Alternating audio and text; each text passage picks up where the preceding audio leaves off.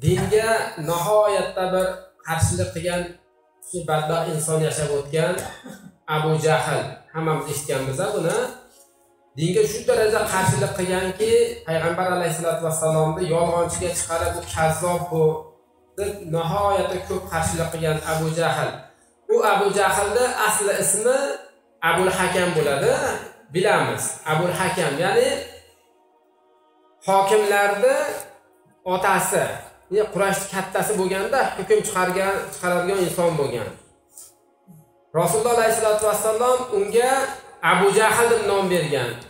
Hokimlarni otasi bas jahlni otasidir. Nimaiki o'ta jahldor bo'lsa bo'lmasa jahli chiqib og'zidan sholi chiqib boli chiqib keladigan shunaqa bir ahmaq odam bo'lgan qo'pol qilib aytganda. O'sha abu jahl rasululloh alayhissalotu vassalomni oldilariga kelib bir rasulullohga bir termilib turib o dedi. Ey muhammad dedi. Munchayam xunuksan dedi. Man sandaqa xunuk odamni ko'rmaganman deb payg'ambarimizga shu gapni aytganimda payg'ambarimiz kulib turib to'g'ri aytasan dedilar. Oradan hech qancha o'tmasdan hazrat abu bakr siddiq roziyallohu anhu keldilar.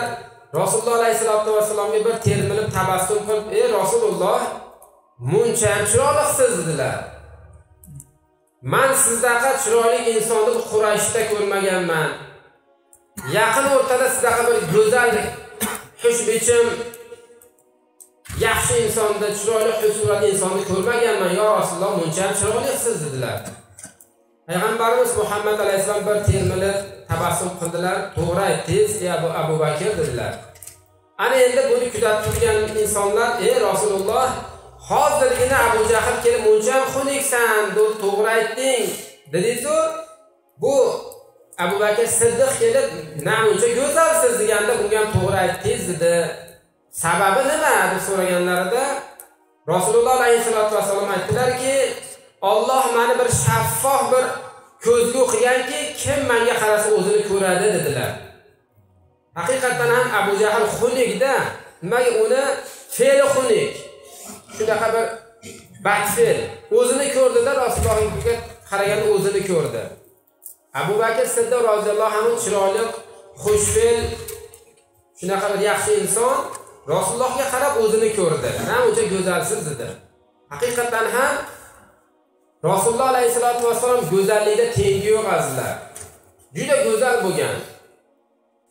Payg'ambar alayhissalotu vassalom makorimul axloq ya'ni xulqlarni go'zallashtirish uchun xulqlarni mukammallashtirish uchun dunyoga kelganda rasulullohdan go'zalroq rasulullohdan xulqi chiroyliroq inson dunyoga kelmagan. Hattoki odam alayhissalotu vassalomdan to davri qiyomatga qadar kelmaydi. Bitta rasululloh kelgan.